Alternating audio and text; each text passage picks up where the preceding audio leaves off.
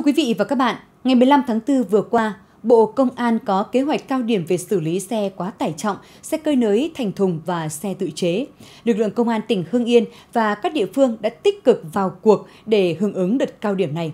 Tuy nhiên, thời gian gần đây, tình trạng này vẫn chưa được cải thiện mà còn có dấu hiệu tái phạm nghiêm trọng, thách thức các cơ quan chức năng. Kinh nhận của nhóm phóng viên thời sự tại hai huyện Khoái Châu và Kim Động. Có mặt trên tuyến D 378 qua huyện Khói Châu vào các ngày từ ngày 27 tháng 4 đến ngày 3 tháng 5 để ghi nhận thực tế. Nhóm phóng viên dễ dàng bắt gặp nhiều xe chở cát đá trọng tải lớn có dấu hiệu quá tải vẫn ngang nhiên hoạt động. Đặc biệt là trên tuyến đê thuộc địa bàn các xã Liên Khê, Đồng Kết, Tân Châu có hàng chục xe có trọng tải lớn hoạt động. Trong số các xe có tải trọng lớn hoạt động trên tuyến đường, có không ít phương tiện cơi đới thùng xe, che chắn không đảm bảo an toàn làm vương vãi vật liệu xây dựng xuống đường, khiến người dân bức xúc. Hàng ngày là xe ba chân bốn chân mà nhiều khi lại là còn uh, các cái bưởng xe ấy, là còn để có nghĩa là không không an toàn để rơi hết cả cả đất cát ra đường này. Đấy, chúng tôi là người dân ở đây rất bức xúc vì là xe lối đuôi nhau mà chạy không những ngày mà chạy cả đêm. Có nghĩa là chúng tôi về ờ, môi trường thì rất là bụi bẩn, Đấy, về giao thông thì đi lại thì khó khăn. Về tiếng ồn thì rung hết nhà cửa. Bức xúc lắm. Bức xúc nhiều người nghe nó đánh vãi đất cát ra đây nhưng mà có người còn đuổi theo luôn. Đuổi theo xe luôn đấy. Để chặn lại rồi nhìn biển số xe nhưng nhiều khi biển số xe nó bẩn quá. Đấy mà xong là cũng cứ bảo nhau là để làm đơn để đề nghị lên xã nhưng chả thấy giải quyết gì cả. Theo nhiều hộ dân sinh sống ở khu vực này cho biết, tình trạng xe có trọng tải lớn chở vật liệu xây dựng chạy trên tuyến đường này diễn ra trong thời gian khá dài. Lái xe thường lựa chọn các khung giờ vắng lực lượng chức năng tuần tra kiểm soát như buổi trưa, chiều tối và ban đêm để hoạt động. Cá biệt, có một số lái xe ngang nhiên hoạt động ở mọi khung giờ. Theo quan sát, thì những hung thần xa lộ này lấy cát tại các bãi ven sông Hồng, chạy qua dốc Liên Khê, sau đó tỏa đi các hướng để nhà hàng. Tôi là những người dân sống ở đường ven đường đây thì cái lượng xe là, là chạy qua đây là rất nhiều nhưng mà xe này trọng tải quá lớn.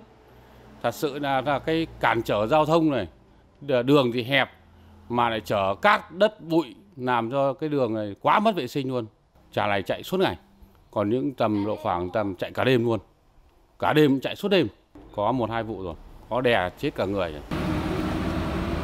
tương tự tại huyện Kim Động tình trạng xe quá khổ, quá tải vẫn hoạt động tràn lan và ngang nhiên giữa ban ngày.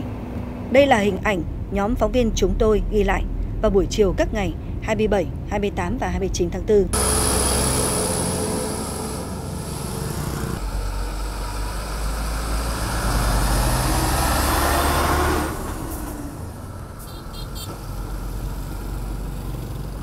Đặc biệt, khi phát hiện có ống kính máy quay của phóng viên thì các xe này cố thủ luôn trong bến bãi.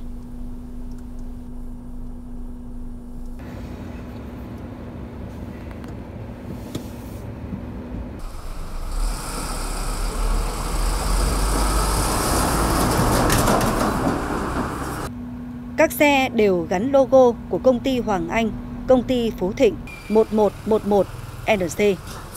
Cũng như tại Khoái Châu, nhiều tuyến đường ở huyện Kim Động có nhiều vị trí bị sụt lún xuống cấp, tiềm ẩn nguy cơ tai nạn giao thông. Theo nhận định của các cơ quan chức năng, có nhiều nguyên nhân dẫn đến các tuyến đường bị hư hại. Tuy nhiên, xe quá tải hoạt động được cho là nguyên nhân cơ bản.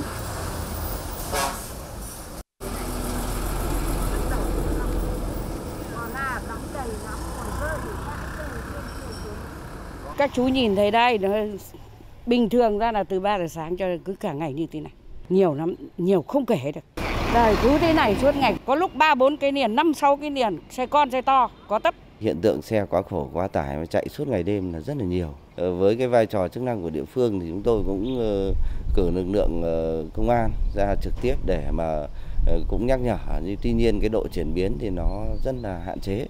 Thì cũng có Ờ, đã có những cái kiến nghị với ờ, cấp trên là ủy ban dân huyện huyện cũng đã cử lực lượng công an huyện để mà xử lý thì tuy nhiên là mỗi lần xử lý chỉ được một thời gian rất là ngắn, sau đó nó lại về vị trí ờ, như trước, tức là cái, các cái vi phạm nó vẫn tồn tại được biết các tuyến đường mà xe quá tải trọng vừa chạy mà chúng tôi ghi hình được ở trên đều thuộc địa phận quản lý của Công an huyện Quái Châu và Công an huyện Kim Động. Tuy nhiên, khi chạy ra các cung đường khác lại chịu sự quản lý của lực lượng cảnh sát giao thông công an tỉnh và công an các huyện khác. Về vấn đề này, chúng tôi sẽ trở lại trong các chương trình thời sự sau để tìm hiểu về nguyên nhân cũng như trách nhiệm của các lực lượng chức năng. Vì sao để xe quá khổ, quá tải chạy trên các tuyến đường ngay trong thời điểm diễn ra đợt cao điểm về xử lý xe quá tải quá khổ, xe cơi nới và xe tự chế.